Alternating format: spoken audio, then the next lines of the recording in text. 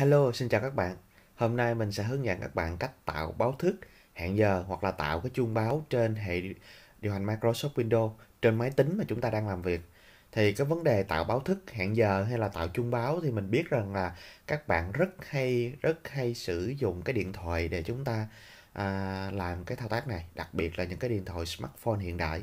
Tuy nhiên đôi lúc là chúng ta à, không có cái điện thoại bên mình thì các bạn vẫn có thể tạo ra được cái báo thức. Ví dụ như các bạn muốn nghỉ trưa trong vòng 30 phút thôi, các bạn hẹn giờ sau 30 phút thì cái máy tính nó sẽ tự động nó rung chuông và nó báo thức cho chúng ta dậy.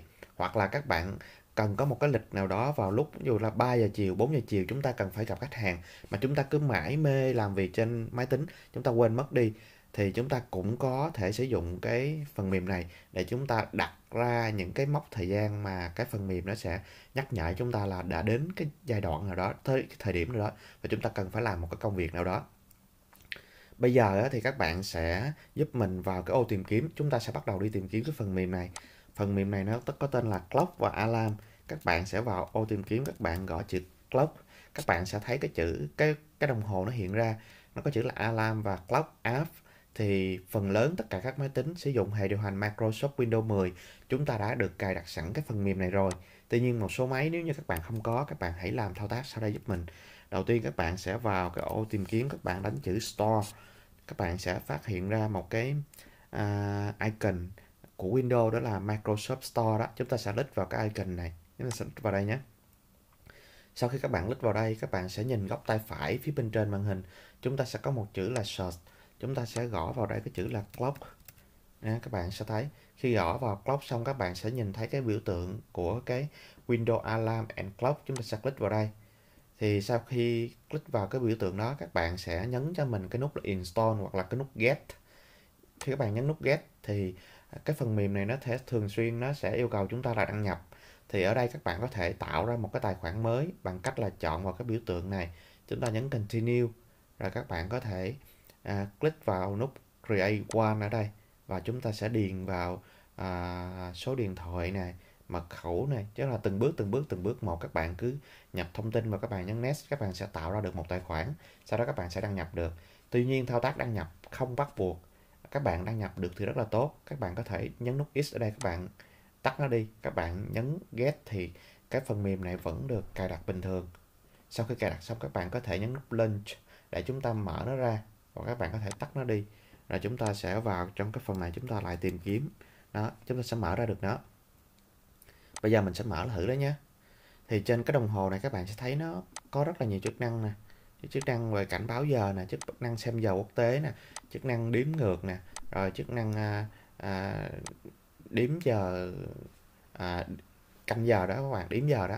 Thì bây giờ chúng ta sẽ quan tâm tới cái tab đầu tiên là cái tab alarm là cái cảnh báo á các bạn nhìn xuống giúp mình cái góc tay phải màn hình phía bên dưới các bạn sẽ thấy có một cái nút dấu cộng. Bây giờ chúng ta muốn tạo ra một cái à, báo thức hay là một cái chuông báo thì chúng ta sẽ click vào dấu cộng này. Sau đó chúng ta sẽ chọn giờ ví dụ bây giờ mình là 1 giờ 43 phút sáng chẳng hạn mình sẽ muốn nó cảnh báo mình vào à, mình tạo ra một cái nhắc nhở vào 1 giờ 43 phút. Bây giờ mình sẽ cho nó là 45 phút đi. 1 giờ 45 phút nhé. Mình sẽ hẹn vào lúc 1 giờ 45 phút AM là trong vòng 1 phút nữa. Thì các bạn có thể là chọn cái kiểu đặt đặt cái tên ở đây. Ví dụ mình sẽ đặt tên là ví dụ 1 rồi các bạn có muốn repeat nó không? Thì các bạn có thể nhấn vào đây nè only once là một lần thôi. Các bạn click vào đây các bạn có thể chọn à lặp lại là thứ hai thứ ba thứ tư thứ năm thứ sáu thứ bảy. Cái này thì tùy chọn nhé tùy chọn tùy chọn. Ok mình chọn một lần thôi. Rồi à, đây là cái sao sao thì các bạn có thể chọn cái kiểu âm thanh mà chúng ta muốn nghe. À, cái cảnh báo đó. Và cái này là cái thời gian à, sau bao nhiêu lâu thì nó sẽ ngưng các bạn có thể cho nó cảnh báo liên tục trong vòng 10 phút chẳng hạn. Ok. Rồi mình sẽ save lại nha các bạn. Nhấn nút save là góc tay phải màn hình có một cái hình cái đĩa. Mình sẽ nhấn nút save. Đó bây giờ là cái này nó đang được mở nha. Chúng ta có thể click vào để chúng ta tắt chúng ta mở nè.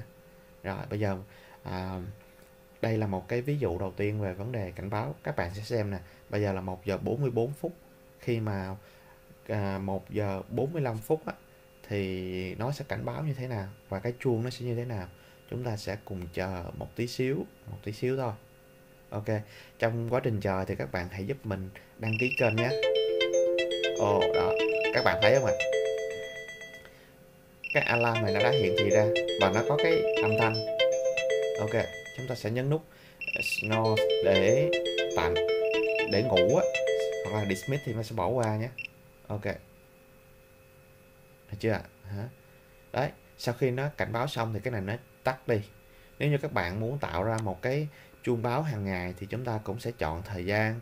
Rồi sau đó các bạn sẽ chọn đi lặp đi lặp lại chỗ này. À, đó. và kiểu âm thanh thì ở đây.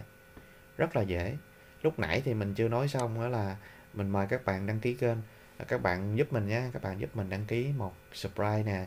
Các bạn hãy nhấn like video. Và nếu như có câu hỏi và thắc mắc gì các bạn cũng đừng ngại. Các bạn hãy comment phía bên dưới video này. Mình sẽ dành thời gian để trả lời những câu hỏi của các bạn. Mình cảm ơn các bạn rất là nhiều vì đã theo dõi. À, xin chào và hẹn gặp lại các bạn trong một cái video clip khác. Cảm ơn các, các bạn rất nhiều nha.